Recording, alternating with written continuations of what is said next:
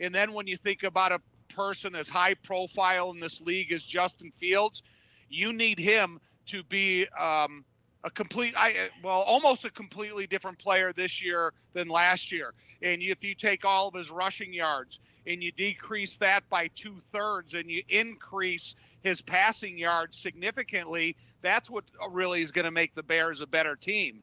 You know, so I don't think that we're talking about the Bears leading the league in rushing if if they didn't have a guy like Justin. So I, I'm interested to see what course of action they take to make sure Justin is the best that he can possibly be, but still keep the running game in place. Is that realistic, Tom? Two thirds. You would like to see them reduce his rushing yards by two thirds?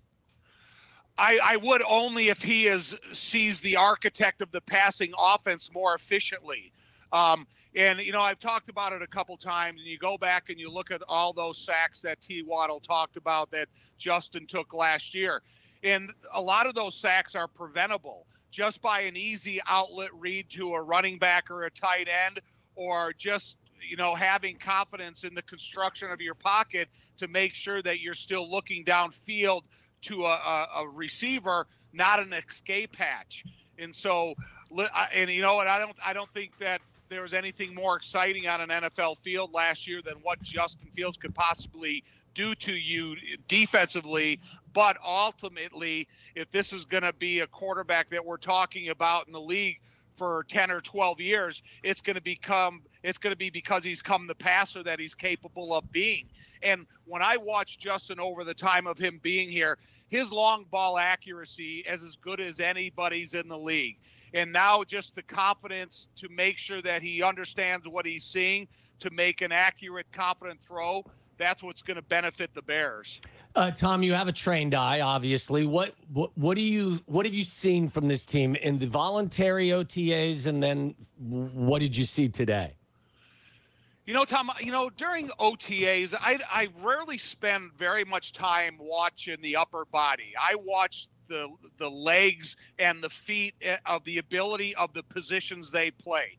I watch a guy like Darnell Wright. He's got the ability to shift and readjust into uh, consecutive moves by a pass rusher. He's got the bendability in his legs that he can get underneath and earn leverage against a shorter defensive lineman. If you go and you look at the feet and the redirect of defensive linemen, you know, can they redirect to a second move after an offensive lineman stalemates them at the line of scrimmage. And then you watch the feet and the ability of TJ Edwards and Edmunds, and you look at the way that these guys can move at the linebacker position as long as they're protected by a quality defensive line. So, um, you know, again, it's not. You know, I'll, I will. I will take all that time when they're in full pads and they're doing that stuff at training camp when the upper body has to has to meet the feet. Um, but yeah, I, I've just spent a lot of time, and especially with the defensive backs. And when you get a chance to watch, and you know this better better than I do, when you get to watch just the the feet of a defensive back, and they talk about, oh, can he swivel his hips? Can he turn and run? But can he do it with balance? Uh, you know, with his feet underneath him. And that's kind of the fun things that I've, I've been paying attention to more throughout OTAs and first day of minicamp than some of the upper body elements that are going to be important during training camp. Was there more you could grab from today, Tom? Because I know it. For, Jeff has told, and I've learned a lot from you uh, on how pissed off you can get through some of these OTAs. It, it's it's awesome. Um, was there more that you could grab from today than some of the OTAs? Um, you know, honestly, um, timing and tempo, I'm still a little concerned about because you know when when you call a play in the huddle and whatever if you're a receiver if you're an offensive lineman whatever the catchphrase you're listening to in that terminology you know the quarterback has to understand every single eh, word that he's saying out of his mouth and how it pertains to the other 10 guys jobs. And they also is saying an audible inside that same huddle call and he has to remember all all of those responsibilities too. So you know, am I sitting there going, "Oh my God, we're we're looking at the Kansas City Chiefs of two years ago, or we're looking at you know Peyton Manning when he brought you know his his traits and his talents into Denver." I don't think we're watching that yet, but um, I, I do think that getting ready to get into training camp when it comes around that like Luke Getsy said it the other day at the podium, they have to be able to hit the ground running. And I think if they're going to be able to hit the ground running, they have to finish this uh, series of off-season workouts the next two days and have a positive passing offense, have a positive seven on seven, have a positive two-minute drill where the exactly what they're saying in the huddle is what they're doing after the ball is snapped. Tom, what's your take on on where Darnell Mooney is in terms of his rehab and his availability going into training camp, and your thoughts on Chase Claypool at this point as well? You know, to me, Darnell Mooney, I I, I don't even want to see him around the field until training camp begins, and then if you know, is he to that ramped up stage where he's ready to go, or did does he still need a couple of practice just to get acclimated with his feet on the, the soil again? But I still think Darnell Mooney has incredible work habits. Uh, he has desire to be the best of the best, and that's what I, I expect out of him. Chase Claypool, you know, uh, when you hear when he's talked about at the podium during the offseason, he's in a better frame of mind. He has a better understanding of his existence inside the facility. He's got better friendships and bigger and you know longer developed relationships with the offensive coaches and quarterbacks and such. So, you know, if they can take and um, use the size, which you know the reason he was brought here is got that six four plus frame, just like all the other guys. I mean, he's got to be um, a big time contributor, not only you know everywhere on the field, in the red zone, in the middle of the field, on third down scenarios. He's got to be able to be a, a weapon that Justin can rely and count on. Are you concerned though? I mean, like you've talked about availability and about working at this. He was nicked up when when they got him and and and tweaked some stuff. He has not been available throughout a lot of the OTAs, and it looks like he's going to miss a lot of the mini camp.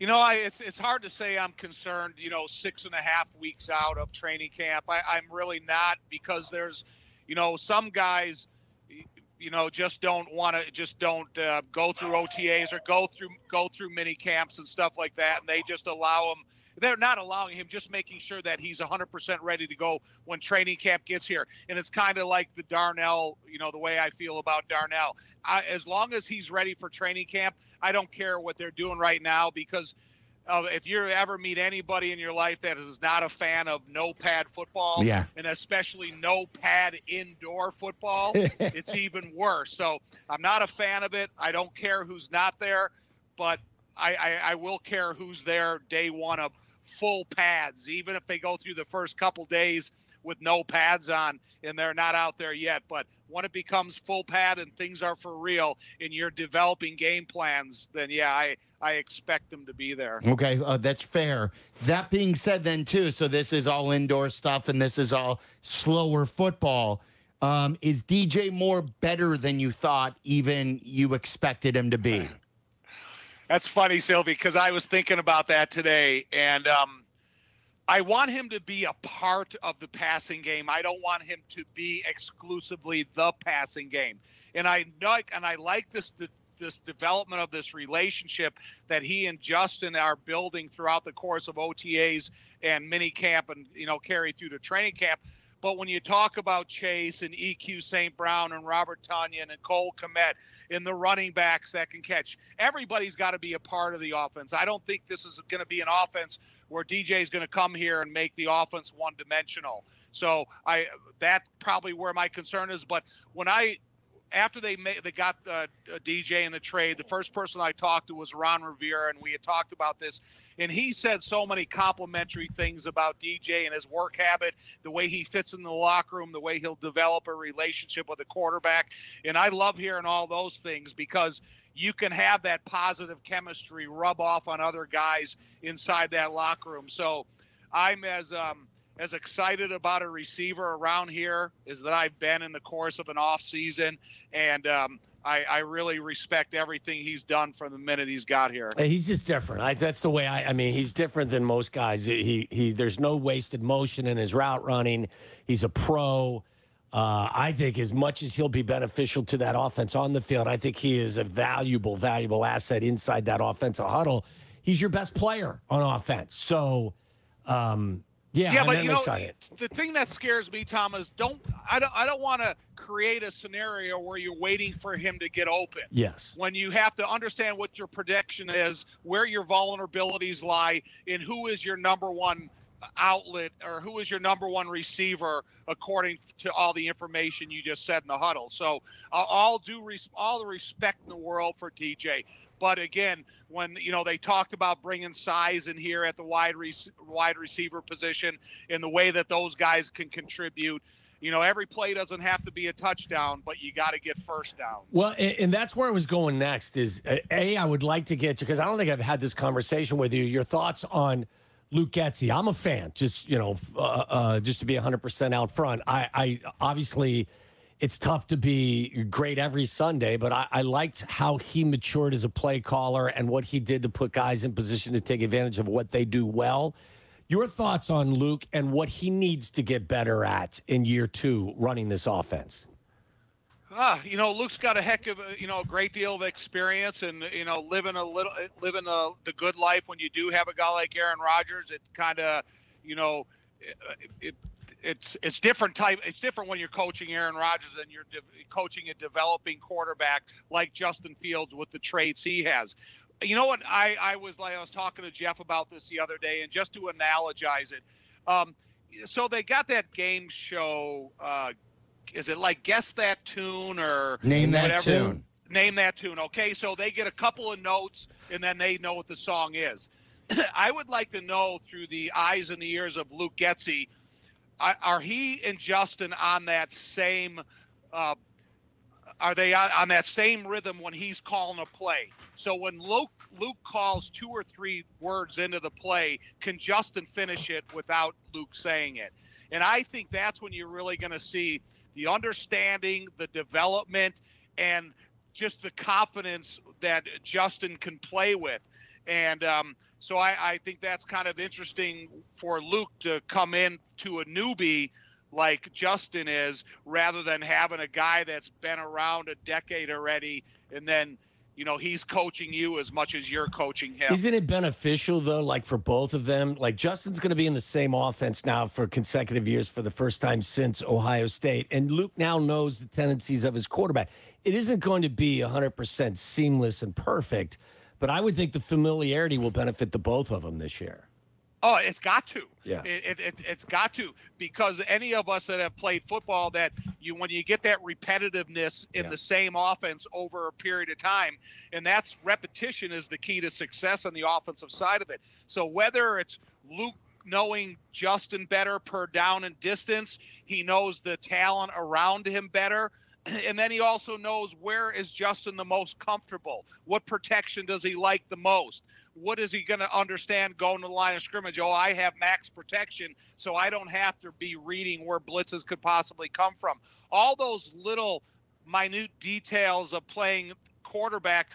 Luke has got he's a quarterback in his own background, so I'm I'm sure that he's getting to know Justin is, is you know as well as he needs to in order to get him set up for a second year in this offense. So are you hanging out in the Chicago area until training camp, or you go back to Hawaii? yeah, I'm going to take an off. No, I'm here to stay. I'm here to stay. This is the best part of the year being around Chicagoland area, and uh, uh, you know, just just look forward to getting ready for camp to see what's You be in what's the up weight and room? coming You gonna be in the weight room every day. every day? Okay. I won't. No, No. not at this age. He'll be on the golf course. Yeah, I'll be somewhere, but it won't be in the weight room. That's for sure. Tom, we appreciate you. Thanks, buddy. Thank Hey, you. anytime, guys. Good talking to you. There you, You go, too. Tom Thayer. It's a it is such a joy to have Thayer and Joniak as a part of our team and to be the home of the Bears and to get to talk to these guys now Well- after years of watching them from afar and now be teammates from with them. They're there every day. Yes. And Tom has access that is second to none. So not only does he have a great football, you know, uh, resume, he's also now he's somebody that is at practice every day, has access to these guys, and uh, his insight is going to be invaluable for us. It's incredible. It, it's just truly great stuff.